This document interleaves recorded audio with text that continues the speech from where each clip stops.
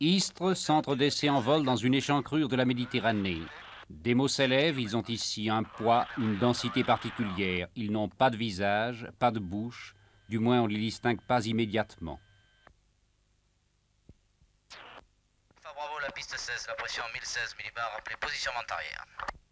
Ok, Alpha Bravo, est-ce qu'on peut envisager une semi-directe en virage à droite? Bravo, c'est accordé, rappelez-moi langue finale. Bravo, compris.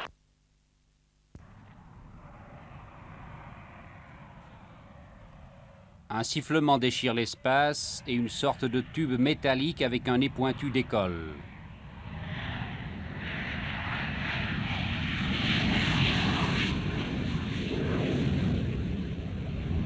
Le tube va vite, très vite, il pèse près de 8 tonnes et il contient un homme, un pilote d'essai.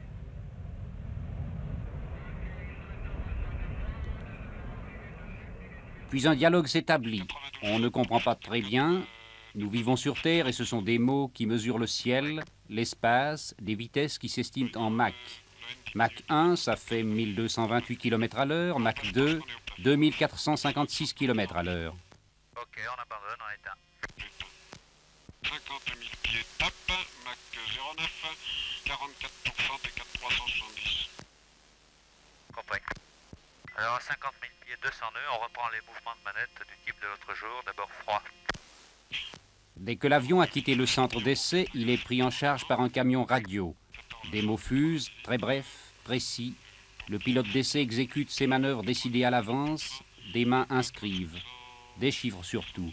C'est une sorte de ballet commandé à distance. Ce n'est même pas spectaculaire, c'est curieux pour un terrien, c'est tout. 25 nautiques au nord. Quelques minutes plus tard, le tube redescend. Il y a à nouveau comme une déchirure dans l'air.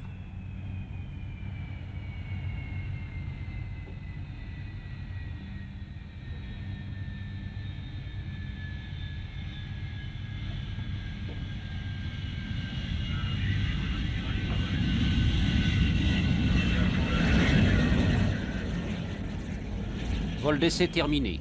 Opération de routine. Il a duré 40 minutes exactement. Une ou plusieurs parties de l'avion ont été portées à des limites extrêmes pour étudier leur comportement dans des conditions qui risquent peut-être de ne jamais se produire.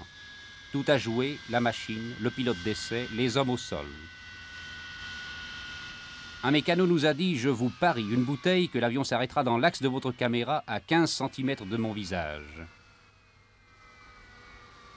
Promesse tenue, à 15 cm de son visage. Ce n'était pas un pari idiot. Les hommes se connaissent bien, c'est tout.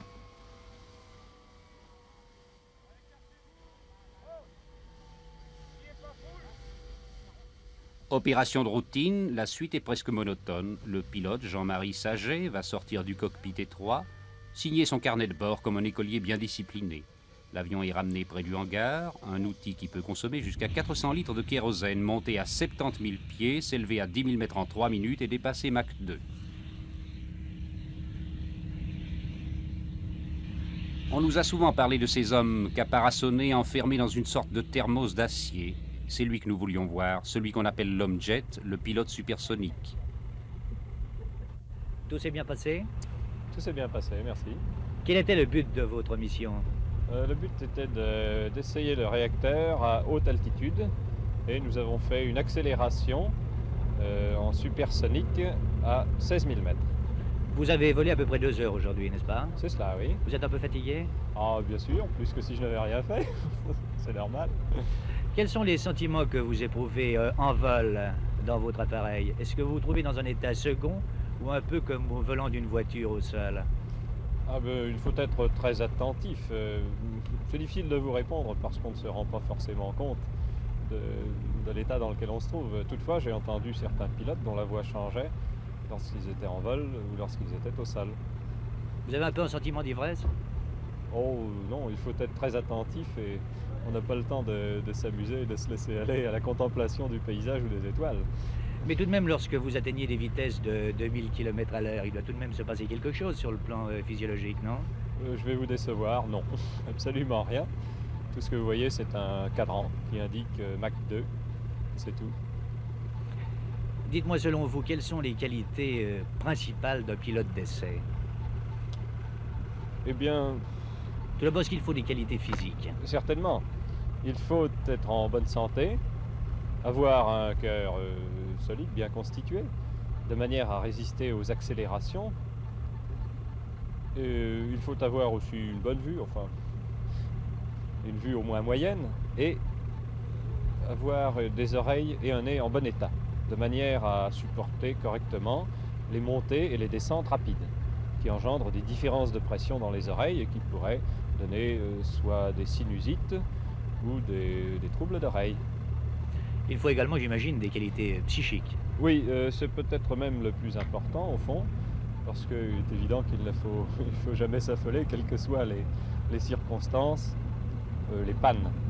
Il faut prendre rapidement les décisions qui s'imposent, car si à un certain moment vous prenez la mauvaise direction, eh bien, ça peut être absolument irrattrapable. Donnez-moi peut-être un exemple. Vous avez un souvenir peut-être à évoquer dans ce domaine. Ouf, des souvenirs ne manquent pas. Euh, disons qu'il y a notre grand ancien, Monsieur Rastel, qui a un peu plus de 50 ans, je ne dirais pas exactement combien, qui l'année dernière se trouvait en vol sur le dos du côté de Libourne. Et soudain, son réacteur s'arrête. Il était trop bas pour allumer. Et il avait le choix devant lui.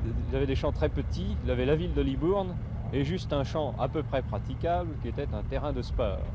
Eh bien, il a choisi le terrain de sport immédiatement. Il a réussi à se poser dessus, ce qui est une belle performance avec un super mystère. L'avion était un peu cassé, mais le bonhomme s'en est très bien tiré. Lorsque vous atteignez des vitesses de deux fois euh, la vitesse du son, c'est-à-dire de 2000 km à l'heure, est-ce que les réflexes ne sont pas inférieurs au point de vue rapidité à la machine? Lorsqu'on est seul dans le ciel, certainement pas. Euh, Si vous faites allusion euh, au combat aérien, c'est autre chose. Mais lorsque vous êtes seul dans le ciel à 12, à 12 000 mètres d'altitude, vous avez parfaitement le temps de voir, de réagir. Au fond, on est très à l'aise. Est-ce qu'il vous est arrivé d'avoir peur? Oh, si vous entendez par peur la peur panique, certainement pas. Mais euh, si vous entendez l'appréhension devant certaines circonstances difficiles, c'est bien évident. La, la vie de tous les jours est faite de cela. Vous avez quelque chose à nous raconter euh? Oh, oui, euh, un jour j'étais en vrille au-dessus de ce terrain, euh, par là vers le sud-ouest. C'était une petite vrille d'entraînement. Et elle a duré une dizaine de tours. Au bout du troisième tour, les mouvements que j'avais faits n'étaient absolument inopérants.